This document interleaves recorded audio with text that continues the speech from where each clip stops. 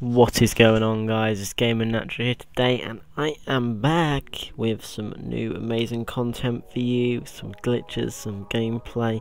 This gameplay on the screen isn't the best, it's just we were getting spawn trapped like hell. I was like 16 to 2 and I was like, bugger this, pulling out the LSAT and got my I VSAT for the team and it, I still think we lost but we come back pretty good because we were like completely spawn trapped. I was like getting shot on spawn, it was so annoying. Uh, yeah, but I'm back. Glitches, one every two days, and a commentary at least once a day. So that should be good. And uh, I got Network Elites going off to a good start. That's now back as well. So if you want to check that out, please do. And also, uh, giveaway at 300 subscribers. Ooh, more news on that soon. So yeah, hope you like the gameplay. So don't forget to subscribe and like. I'll be back soon. Peace.